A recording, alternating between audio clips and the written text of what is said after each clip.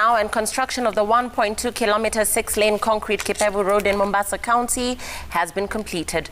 Construction of the highway replacing the old four lane road was co financed by KPA and Trademark East Africa to the tune of 2 billion Kenya shillings. The road project is part of the improvement and expansion program of the Port of Mombasa. Faisal Ahmed has more on this. According to the Kenya Ports Authority, the 2 billion shilling road will boost port capacity by improving in and out traffic flow with other economic benefits including improved service delivery, reduced congestions at the port through faster truck turnaround and reduced delays with faster gate clearance. The movement on in and out of our port will be much easier. And what is the impact? You know, it is cutting down the cost of goods sold because now we have much higher productivity once the goods are in the port and then they are distributed to the hinterland.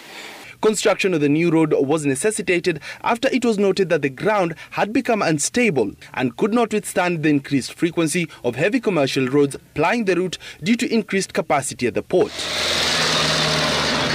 Initially, the existing four-lane dual carriageway also suffered increased traffic, leading to a bottleneck at the Changamwe roundabout, thus effectively disrupting fluidity of cargo movement. We have had tremendous problems before, and I'm sure you're aware, where you find trucks parked across the road.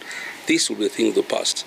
This also will will, will entice our, uh, our customers, you know, shipping lines to see that now, and their clients to see that now if you use the port of Mombasa again, the movement of goods is going to be very fast and quick. So this is really the, the, the, the reason, the, I mean, the, the value that this, uh, this, this project brings.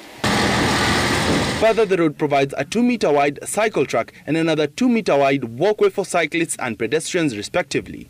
Faisal Ahmed, Citizen TV, Nairobi.